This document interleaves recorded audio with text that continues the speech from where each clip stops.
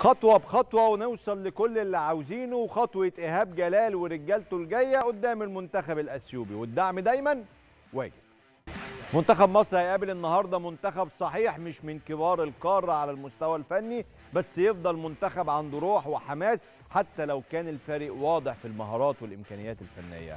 وإحنا بالنسبة لنا عايزين فوز. يقربنا من حسم الصعود بدري بدري ويضيف ثقة أكبر لولاية إيهاب جلال لمنتخب مصر. ونرجع نقول تاني وتالت الحكم لسه بدري جدا على تجربة مدرب كان ليه في كل مكان بصمة ناجحة. وكالعادة إحنا دورنا ندعم ونساند واللي في الملعب دورهم دايما يفرحونا إن شاء الله.